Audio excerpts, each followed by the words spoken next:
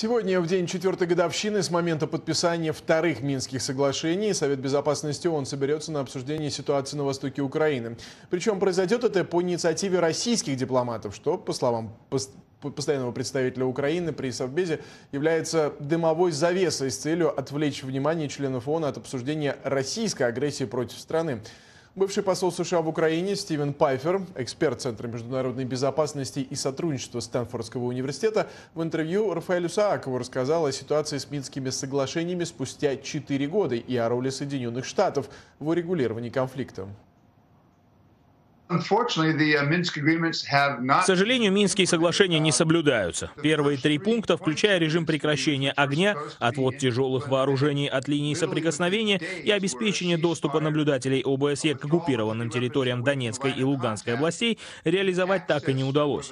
Довольно тяжело переходить к политическим договоренностям, не имея базовых условий в сфере безопасности, которые бы выполнялись. Минский процесс вылился в формат нормандской четверки с участием России, Украины, Германии и Франции. И Соединенные Штаты не получили приглашения присоединиться к переговорам. Минских соглашений удалось достичь при посредничестве канцлера Германии Меркель и президента Франции на тот момент Оланда. Однако с тех пор мы стали свидетелями дипломатических усилий Соединенных Штатов с целью способствовать выполнению Минских соглашений. Сначала благодаря усилиям заместителя госсекретаря Виктории Нуланд, а теперь спецпредставителя Курта Волкера.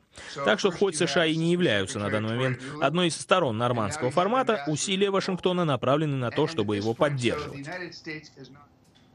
Кроме того, по мнению Стивена Пайфера, российские власти не намерены э, в полной мере выполнять договоренности. Э, вот что заявил э, Стивен Пайфер.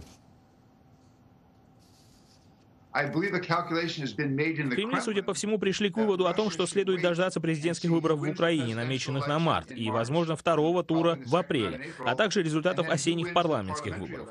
Так что я не думаю, что следует ждать каких-то подвижек со стороны России до выборов. Не исключено, что Кремль надеется получить более подходящего партнера по переговорам в Киеве. Честно говоря, на это очень сложно рассчитывать. За последние четыре года и среди жителей Украины в целом, и среди украинских элит, и политиков утвердились антироссийские позиции, как результат конфликта конфликта в Украине, навязанного Кремлем.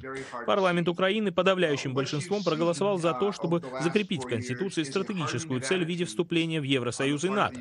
Это было бы невозможно представить до 2014 года, и это прямой результат российской агрессии против Украины. Что касается вступления в НАТО, полагаю, есть один вопрос, по которому в Украине или в НАТО пока ни у кого, по-моему, нет решения. У Украины есть два крупных территориальных спора по нелегальной аннексии Крыма и продолжающемуся конфликту в Донбассе. И я не думаю, что кто-либо может точно ответить на вопрос о том, если Украина вступит в НАТО, условно говоря, в понедельник, то не окажется ли НАТО в состоянии войны с Россией во вторник.